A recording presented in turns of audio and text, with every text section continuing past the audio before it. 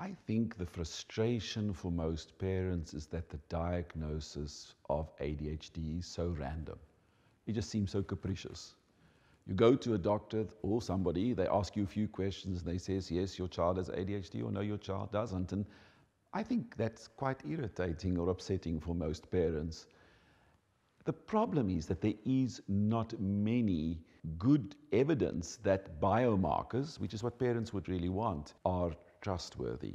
And I also want to warn parents that you mustn't be duped into thinking that you can do scientific tests to diagnose ADHD when the gold standard to this day still remains a structured interview.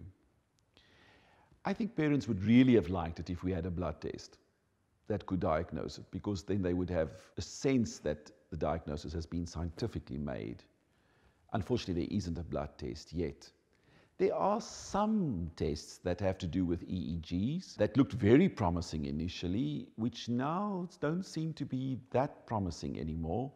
Where we thought that they would capture 90% of ADHD children, they're probably only capturing about 40% of ADHD children now. And sometimes we use them to help guide us, but they are not critical to make the diagnosis. There are also some scientific tests that are used in research, which are computer based tests. But again, they are not specific enough in each child to make a diagnosis. As are PET scans. I do know that parents sometimes travel overseas to have PET scans done for ADHD. And there are some scientists who believe that they can diagnose even different types of ADHD on PET scans. But maybe we're a little bit ahead of ourselves still with these tests. Because even the children that are having PET scans are first screened by the interview and then their data is superimposed on a lot of other data which has also been diagnosed on, on these interviews. And so there really isn't a good scientific, cold, accurate biomarker. Although people are still looking at them. We are at the moment looking at things like attention to sounds, attention to visual, stimuli, distractibility, EEG reporting. There's lots of things going on. But there really isn't a very good test yet. And the majority of people won't have access to it anyway. We live all over the country, and there are not all the many resources around that can do these very specialized tests.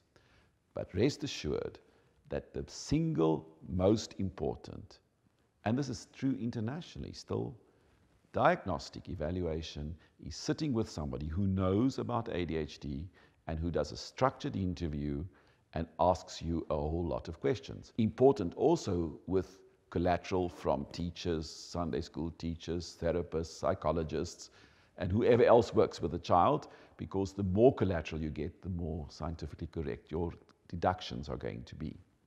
But the parents, if they are the ones who are involved with the child, are still the best group of people to ask the questions to.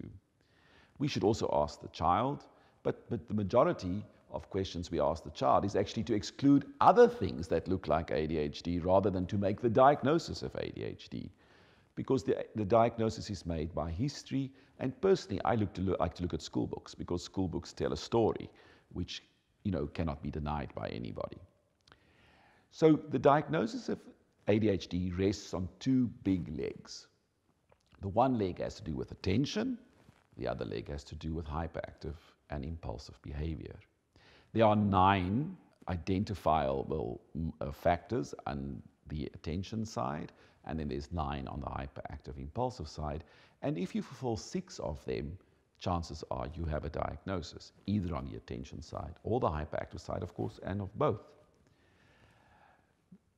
The attention ones are pretty clear about specific symptoms that children have that have, are related to their inability to focus and be distractible. But perhaps I just need to clarify one point because parents often, when they come to my rooms, don't understand the distinction. To have an attention deficit disorder does not mean that you can't attend. It means you can't attend under certain circumstances. So they cannot attend when it's boring. They cannot attend when it's repeti repetitive. They cannot attend on demand. Well, that's pretty much schoolwork. They don't like to attend if it's labor intensive. But they certainly can attend if they like the topic, or if it's fascinating, Uh, and, and I mean, they, are, they love watching television. In fact, children with ADHD can watch television for hours. It's virtually pathognomonic. So it's not like they cannot sit and watch something and concentrate for a long time. It's just that they can't concentrate on things in daily life. And even when they're watching television for a long time, they don't really watch the whole picture. They zone in on isolated incidents rather than seeing the big picture. They love playing with little toys. They love playing with Lego. Most of them love playing sport. They love playing with balls. They like being outside, trampolines. And in those conditions, they can focus fairly well. But it's in the school, in the classroom, where they don't focus so well. And that's why it's important to look at their school books. But how does the attention type issues present itself? Well, first of all, they don't like work that is laborious, especially for attention. And I've already mentioned reading and comprehension tests, which most children with ADHD don't particularly like. They are very easy distractible. And the problem with ADHD children is not that they're distractible, because we are all distractible. In fact, we should be distractible, is that they can't help themselves or stop themselves from being distractible. So they can be distracted continuously, even when it's not in their best interests. Um, they lose things. They, they, they lose their possessions. They don't, they're always looking for their cell phone, their blazer, their shoes. You are always spending a lot of money. They go to school with a full case of pencils and rulers and all that kind of stuff.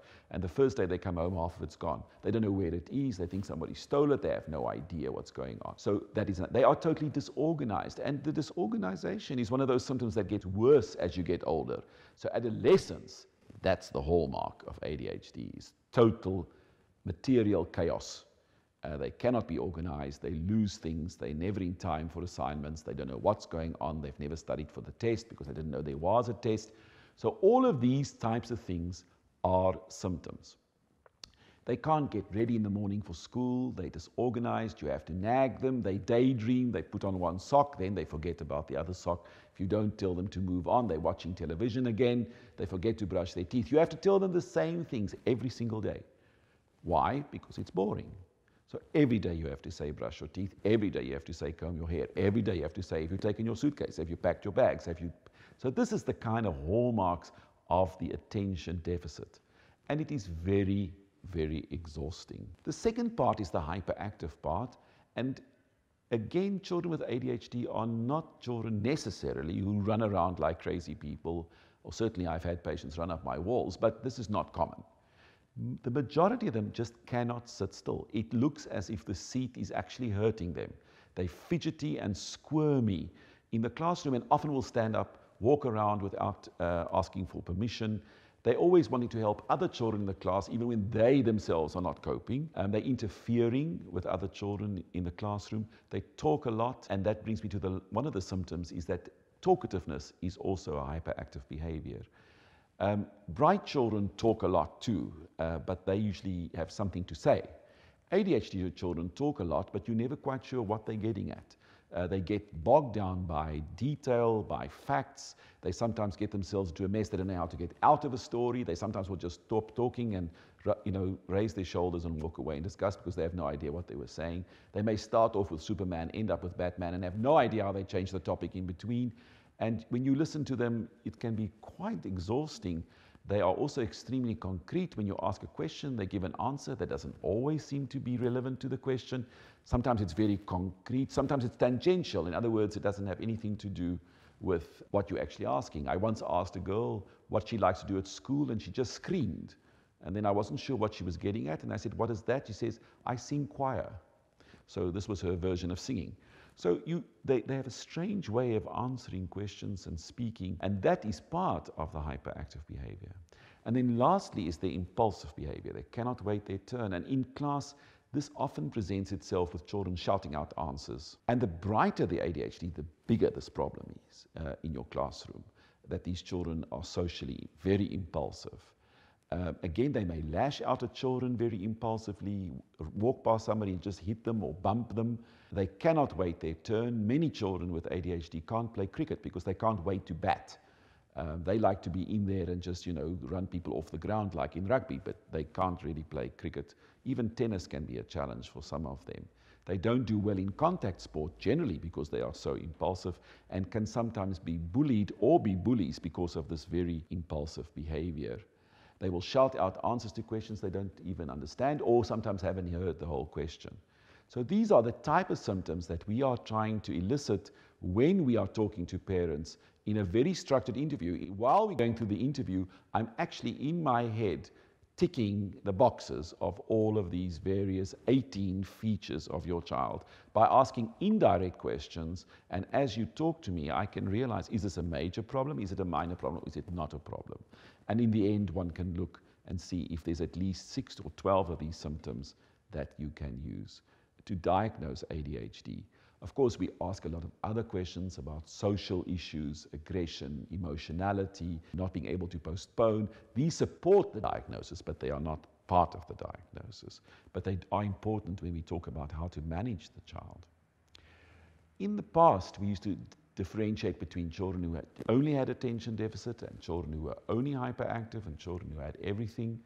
But in the new classification, everything is called ADHD. We can say you have ADHD predominantly inattentive or ADHD predominantly hyperactive or ADHD predominantly combined, but they are all called ADHD. So the old expression of using ADD is now no more used. Everybody has now got ADHD. And the reason for that is that children at different times in their lives have different symptoms and can cross the borders. And it is probably not very useful to keep them in boxes. Ones that are very hyperactive often present already at the age of four they're the ones who are climbing over the burglar proofing, climbing over the walls already. They are the climbers. And they present very early. Um, they are usually quite emotional, aggressive, and trying children. The children with a combined group often present in preschool because they are the ones who are not school ready. They have language issues, they have fine motor issues, they have visual motor aggression issues, and also emotional um, immaturity. And we often diagnose them at five, five and a half before they go to school. That's when they used to have to get start with therapy usually. That's usually when we start with medication as well. And then we have the dreamers, and they are the worst off of all of these children. They're often only diagnosed between 9 and 14 years of age. They are not spotted. They're mostly girls, very low toned, often overweight girls, not popular, socially inept, very introvert, people just think they're dumb or that they are just misfits, but they are actually battling with enormous attention deficit. And if we don't diagnose them and treat them, they also have the highest rate of depression and suicide of all the ADHD children. We don't like to diagnose ADHD before the age of five. And the reason for that is between three and four, all children present with ADHD, basically. They are all egocentric, hyperactive, busy, impulsive, and with uh, children with very short attention span. If they have added developmental delay in any field, we have to sit up and be a bit more concerned. There are, of course, children that have severe behavior problems. Uh, I've, the youngest I've seen is an 18 month old child who stabbed her mother, but it can really start at a very young age. And these children we don't like to diagnose early. They could be many different diagnoses, but often have ADHD as part of their diagnoses. We treat them with medication, but with different medications than we use for ADHD, and we often don't label them ADHD until they're older. We like to make a diagnosis, confirming diagnosis. By the age of five, we are pretty sure that we are dealing with ADHD, but by from four and a half, we can start playing with a diagnosis. An interesting new fact is that many children with ADHD start off looking a little bit autistic and so one often at two to three thinks that these children are actually going to be autistic, especially with language delay, and then they eventually turn out to be ADHD. The converse is also true. Children start off looking like ADHD at a very young age, and by two years old, they are obviously autistic. So one mustn't label children too young. I think under the age of four, it's a very fluid time in children's development, and one must intervene where intervention is necessary but don't make diagnoses or label children too young.